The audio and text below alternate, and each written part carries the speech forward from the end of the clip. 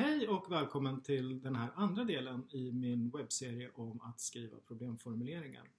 Den här andra delen ska handla om hur man strukturerar en uppsats och vilken roll problemformuleringen fyller i den strukturen. Jag kommer utgå från en modell som jag kallar för U-modellen som finns med i den här boken och den ser ut så här. Men hörru Johan, det är väl inte du själv som har kommit på den här modellen? Eller? Nej, naturligtvis inte. Det här är en modell som representerar och speglar en ganska förgivettagen struktur kring hur ett akademiskt argument är sammansatt. Den eh, blir på det sättet kanske lite tråkig. Om man följer den här modellen till punkt och pricka så kommer texten bli väldigt fyrkantig. Det här har både plus och minus. På plussidan så finner vi att det gör att texten blir ganska transparent. Det gör det lätt för läsaren att hitta information och läsaren vet hela tiden vad vederbörande har att vänta sig av texten. På minussidan, som sagt, det begränsar din frihet som skribent och eh, det gör texten kanske lite tråkig. Men jag tänker så här att det, en viktig del i skrivande är att veta vilka konventioner som man förhåller sig till när man skriver. Och veta när man bryter mot de konventionerna. För man ska bryta mot konventionerna, men man ska göra det på ett medvetet sätt. Så därför, om man utgår från U-modellen till exempel, så ger det en frihet i att improvisera utifrån de förväntade strukturerna. Okej, okay, jag ser poängen. Men måste vi inte egentligen börja med att fråga oss vad en uppsats är för någonting? En uppsats kan vara många olika saker. Det kan naturligtvis vara så att man undrar över någonting, att man har en fråga som man försöker besvara. Och det kan vara så att man försöker göra ett bidrag till vetandet på ett visst område. Ett svar som lanserats av författarna Lotte Rinecker och Peter Stray Jörgensen är att betrakta uppsatsen som ett argument, ett sammanhängande argument. Jag vill påstå att alla de här stämmer. Och de hänger ihop dessutom. Ungefär så här. Om det är så att vi har en fråga som vi vill ställa, ja, då måste vi förstås hitta ett matchande svar på den frågan. Och om det är så att vi har ambitionen att göra ett bidrag till vetandet, ja, ett bidrag till vetandet är alltid ett bidrag till vetandet på ett visst område. Så det finns en matchning där. Och det här måste naturligtvis utgöras av ett sammanhängande logiskt argument där vi går från vårt område våran fråga och kommer fram till ett svar och ett bidrag till vetandet. Aha! Så det där är U-modellen? Ja, det här är U-modellen. Eller i alla fall den grundläggande formen för den. Det första vi möter i en uppsats är problembakgrunden. I problembakgrunden så etablerar man en gemensam plattform med läsaren. Efter att ha läst problembakgrunden så ska läsaren vara överens med dig om att världen ser ut på ett visst sätt. Den tar upp vilken del av världen det här handlar om, vilket fenomen är det som ska studeras och vad vet vi om det här fenomenet?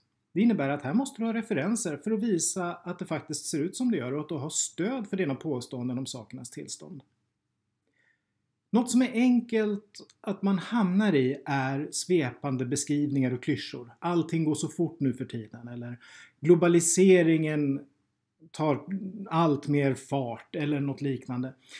Och oftast så har de här den här typen av formuleringar ganska liten relevans och framstår som just klichéer eller klyschor. Försök undvika det och fokusera ganska direkt på det här är det som den här uppsatsen ska fokusera på och studera. Om problembakgrunden handlar om vad vi vet så handlar problematiseringen om att säga vad vi inte vet. Det här kan man göra på flera olika sätt och jag kommer gå igenom det i de sista fyra delarna av den här föreläsningsserien.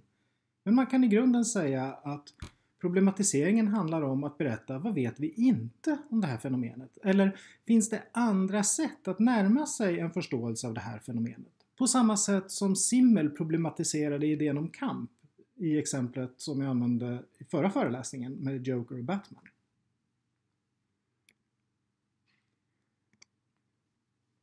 Efter det här så kommer ofta en problemfråga eller flera problemfrågor och ett syfte.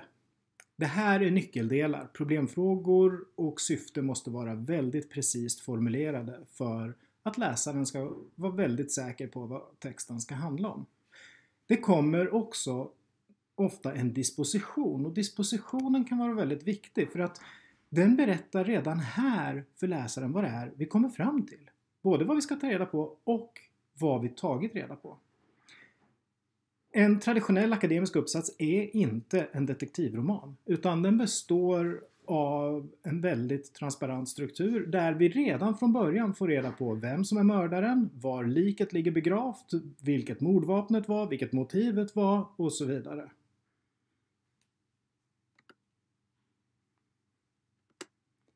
Det är de här tre delarna som jag pratar om som problemformulering. Det är inte vilka ord som används här som är det viktiga. Ibland heter den här delen av uppsatsen inledning eh, och ibland kan den heta någonting annat.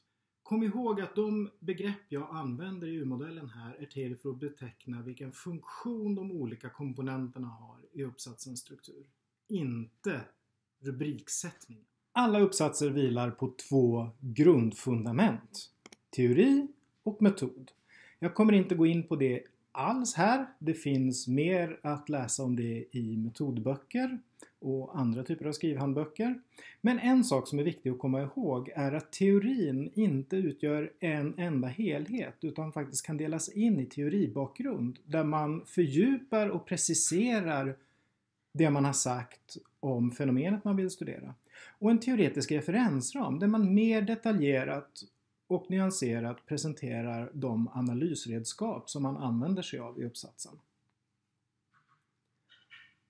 Efter det här kommer det som i verkligheten utgör uppsatsens huvuddel, empiri och analys.